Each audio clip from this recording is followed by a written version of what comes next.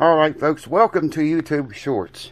A while back I asked you guys about these and a bunch of you answered me and told me what they are called. So I bought one.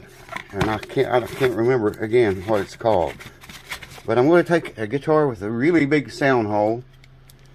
And you can probably already guess this adjust the sound hole size. I'll play the guitar without it with the big hole and then I'll attach it on there some way and uh, show you